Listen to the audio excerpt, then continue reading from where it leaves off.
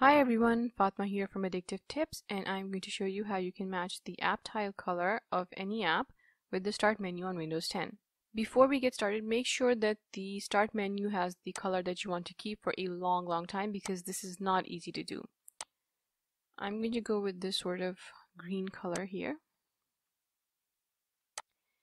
Next, you need to download a free open source app called Tile Iconifier. And we're going to use this app to change what the tiles look like and the process for changing the tile for a desktop app is different than it is for a universal Windows platform app. Once you've downloaded the app, you need to find the exact color that is used for the start menu. If you've got a color picker tool, that's great, you can use that. If not, just go ahead and take a screenshot of the start menu and open the screenshot in Paint. Use the Paint's color picker tool to get the exact color from the start menu and then use this color selection tool here to get its RGB value. And once you have the RGB value, you can just go ahead and convert it to its hex code. The hex code is what you need in order to set the color. Go ahead and use Google and get your hex code.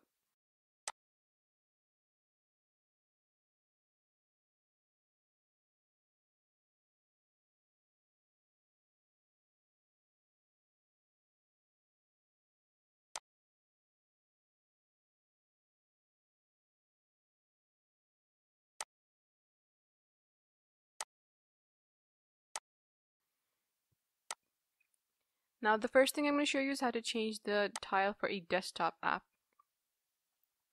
Run Tile Iconifier and allow it to fetch a list of all the desktop apps that are installed on your system.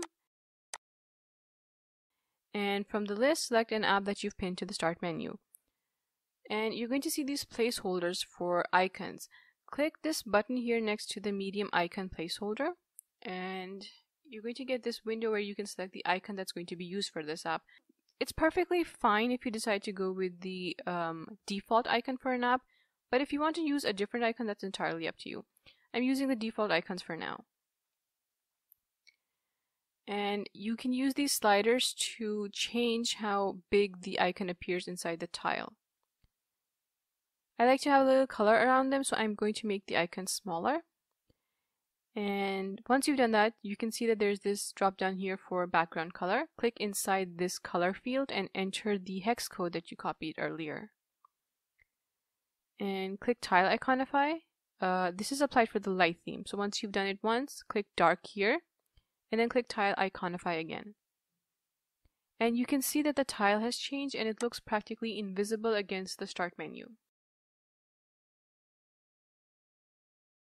So now we're going to look at how you do this for Universal Windows Platform apps.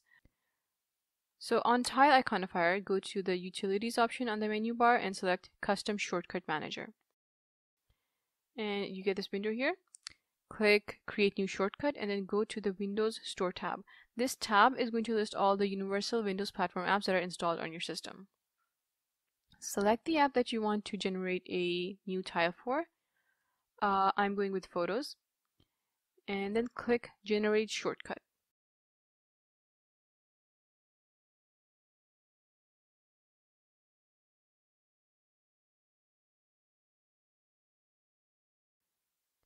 And you're basically back to this interface, which is what you had for your desktop apps.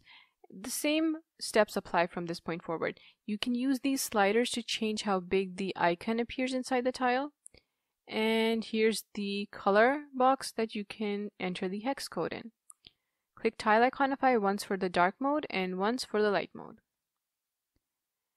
Now these tiles are tiles that have been created by this app. They are not the original tile for the app and you're going to have to pin them separately. So to do that, open the Start menu and go to the apps list. Here you need to look for Tile Iconify and when you expand its folder, you're going to find your new tiles under it. So I've got the Photos app right here. Right click it and select Pin to start. Now return to your start menu and you can see that you've got two different tiles for the same app. Unpin the one that does not look as good and keep the one that you just created.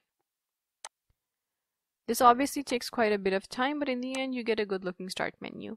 Thanks for watching. I'll see you later with more tech tips.